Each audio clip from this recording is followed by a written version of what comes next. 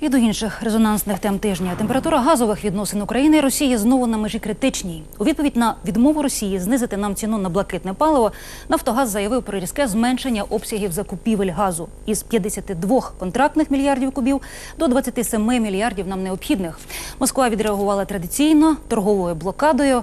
Спробу Спробую розірвати це замкнене коло знову зроблять післязавтра на черговому раунді переговорів. Чим же загрожує обом країнам нове протистояння з ароматом газу і сиру Григорій Жигалов. У російсько-українських відносинах скандал. Так своїх сусідів російські чиновники ще не називали. В Україні повноваження з контролю за продовольством і харчуванням, у тому числі в дитячих організованих колективах, передано ветеринарній службі. Де-факто у цьому міститься визнання громадянина України твариною.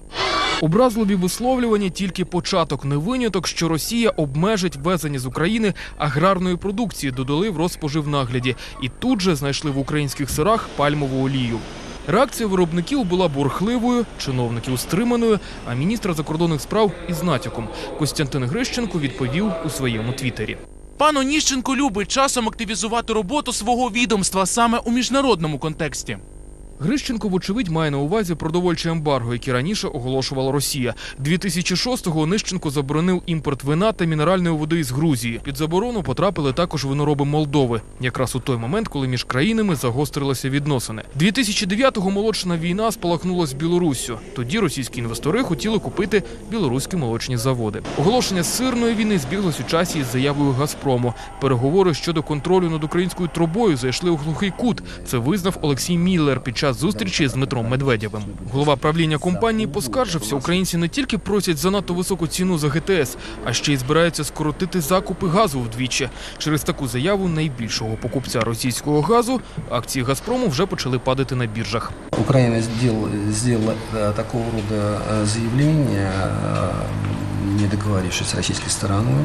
У п'ятницю президент Янукович не приховував рішучості протистояти російському тиску. З його вуст пролунало Україна шукає інших продавців газу, а ще почала переходити на альтернативні види палива. В державі є власне вугілля, і ми можемо його використовувати в промисловості і замінювати газ. Ми зараз готуємось для використання таких же технологій на теплоелектростанціях. Альтернативу російському газу Нафтогаз почав шукати в Туреччині і навіть оголошує про попередні переговори. Після півторарічних перемов, упродовж яких чи не щомісяці лунали обнадійливі заяви про домовленості з Росією, у Києві, схоже, остаточно втратили ілюзію особливих братських стосунків. Медведєв під час зустрічі з Міллером не втримався від ще однієї шпильки в бік України, пригрозив лишити без транзиту. Наши партнеры должны понимать, что существуют самые разные возможности для того, чтобы «Газпром» поставлял а, газ в Европу. Серед цих можливостей північний потік і план Росії з побудови південного потоку. Утім, політична суть обхідного маршруту вже має відчутний супротив в ЄС. От тільки під час нинішньої продовольчої газової війни, зайнята власною кризою Європа, украй обережна. Сьогодні ще ніхто нам не запропонував з тих, хто нас критикує, не запропонував допомогу. Ніхто. На тлі нового українсько-російського протистояння філософський оптимізм зберігає прем'єр-міністр. І на запитання ТСН про торгову війну з Росією відповідає. Ну зачем нам с русскими братьями нашими, да, во- воевать? Вот скажите.